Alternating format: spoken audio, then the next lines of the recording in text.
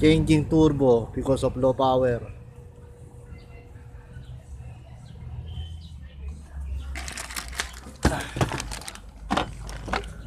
New turbo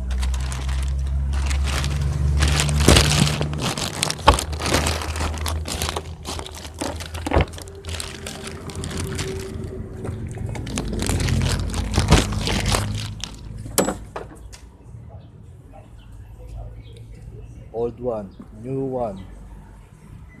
Changing turbo because of low power.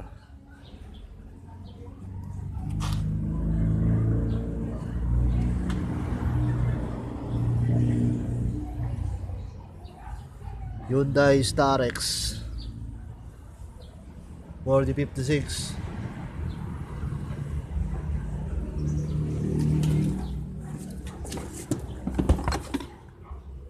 Part number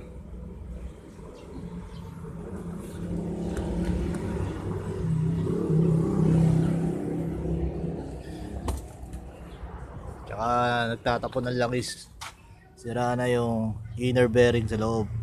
Sumusuka na ng langis yung turbo. Kita niya yan. Sumusuka na ng langis.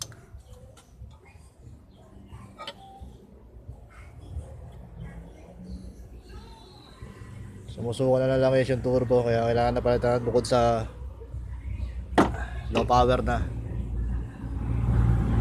Low power dahil sa turbo. Mahina yung buga ng turbo.